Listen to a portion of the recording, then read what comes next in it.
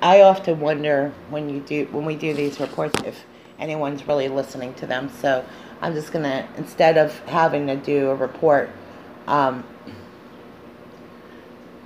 I look at this these topics and they're, they're, they provoke a lot of people like myself to be really upset and I, I don't want to provoke anybody. I, I want to look at what we're doing today in America instead of doing the reports that I know in the past have not been very useful or helpful, but they do matter in the past with our previous reports. But finally, what you're seeing today is that when you swear an oath in the military, that you're actually your voice is actually being heard for the first time. Whereas in my case, it wasn't like that. In my case, when I served at when I signed up, I had no idea what I was signing up for, and they even told me that they didn't know what we were signing ourselves up for. We weren't sure either.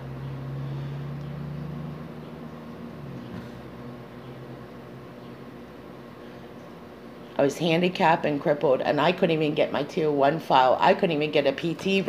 Uh, I couldn't even get a PT appointment. So for somebody like right, me, I would have ended up homeless and nowhere to go. Instead, I have to go home, and after I served my country, I got kicked out on the street with nowhere to go at 19.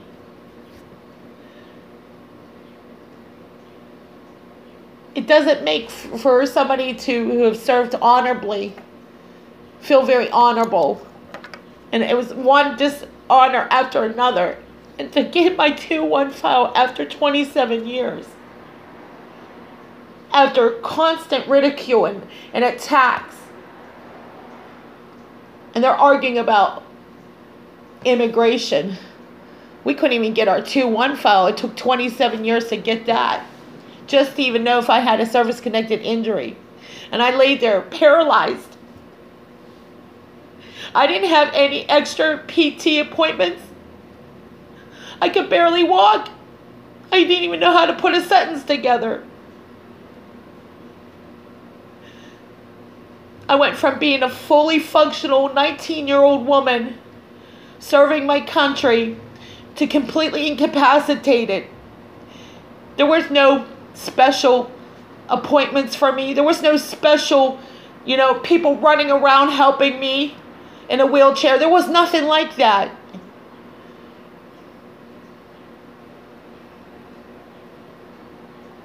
There was no one going out of their way to help us, take us out to dinner, do anything.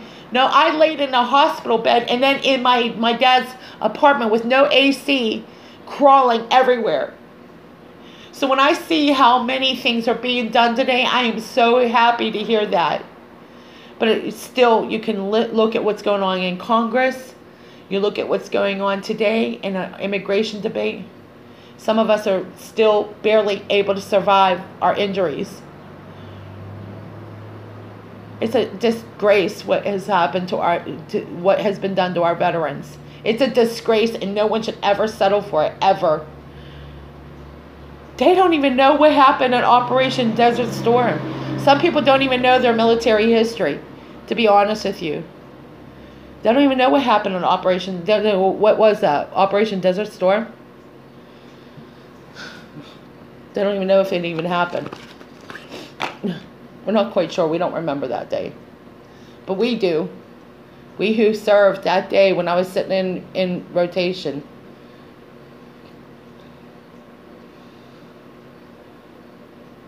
On graduation day, actually.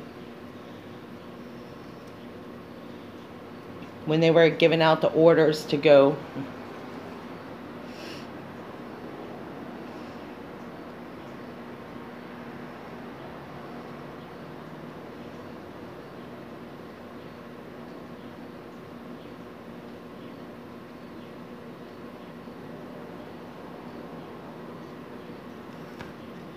I was watching my friends that I was training with getting their orders to go to the next mission. I was going home because I was on the split option program. and their faces went from joy because it was graduation day to complete utter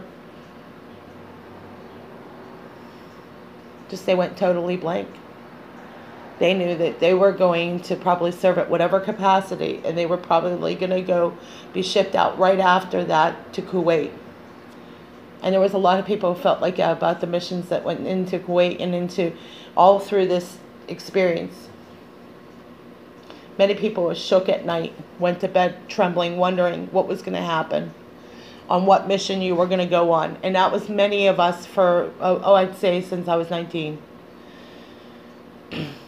we shook at night. And then people said you had an anxiety issue. I go, we, have an, we have an anxiety problem.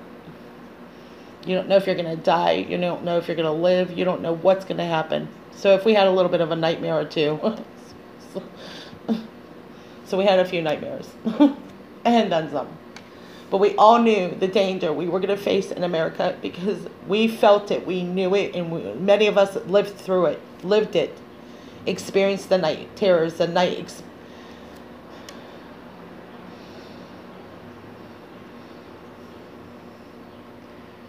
we weren't fighting a, a, war on terrorism. We were fighting something so bigger and different than that. I went to bed at night after watching reports of al-Zarqawi, and it was in June 2003 to June 2006. We never even heard of what a beheading was. We never, we didn't even hear about something like that. But in the Middle East, that was norm, the norm.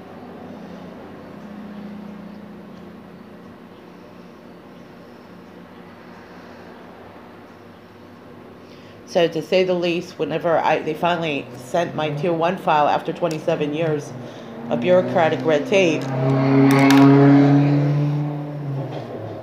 which we really appreciate that because I talked to the commander. We were in what they call no man's land. You don't know if you're really a, you don't know if you're a veteran. You don't know anything. You just for the last 20 some years we didn't know what we were. We knew we served. Okay, we knew that much, but that was about. That's about it. Okay as far as the bureaucratic red tape, if you ask any person that worked on my case, this was normal. This was the norm. this was actually normal. 27 years, and here I am. I've gone to that same commander every time. I'm like, I just want to know if you found anything out about my 215. She goes, no, we didn't. But that was normal, okay? I just want to remember, I want to remember this moment because I hope those days have changed since we elected a president that actually cares about our military and veterans. Other than the other reports, I'm going to have to save it for later. I'm going to leave it there. God bless you.